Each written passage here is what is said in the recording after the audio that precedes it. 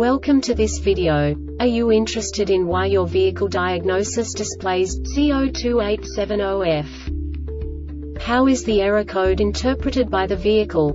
What does C02870F mean, or how to correct this fault? Today we will find answers to these questions together. Let's do this. First, let's look at the history of diagnostic fault code composition according to the OBD2 protocol, which is unified for all automakers since 2000. We divide the electric system of automobile into the four basic units. Powertrain, body, chassis, network. This distribution is defined in the first character code. If the second character is expressed as zero, it is a standardized error.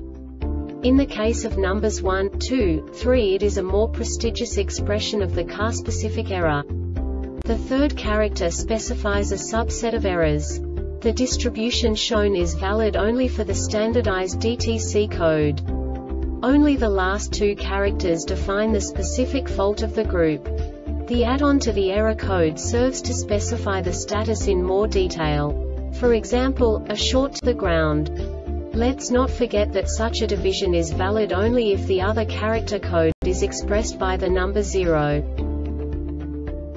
Our website airbagreset.sk produces useful videos for you. You do not have to go through the OBD2 protocol anymore to know how to troubleshoot any car breakdown. You will find all the diagnostic codes that can be diagnosed in a GMC vehicles. Also many other useful things. The following demonstration will help you look into the world of software for car control units. You unbelievably can move the video a bit further. The error code is split into two bytes consisting of 16 bits. One bit is the basic unit that each computer works with. The bit has two logical states.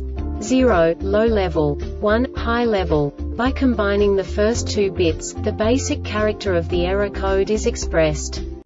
The next two bits again determine the second character.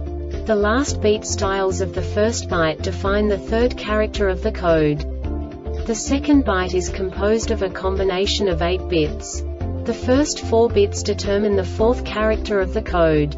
And the combination of the last 4 bits defines the fifth character. A single byte conceals 256 possible combinations. We now know in what way the diagnostic tool translates the received information into a more comprehensible format. The number itself does not make sense to us if we cannot assign information about it to what it actually expresses.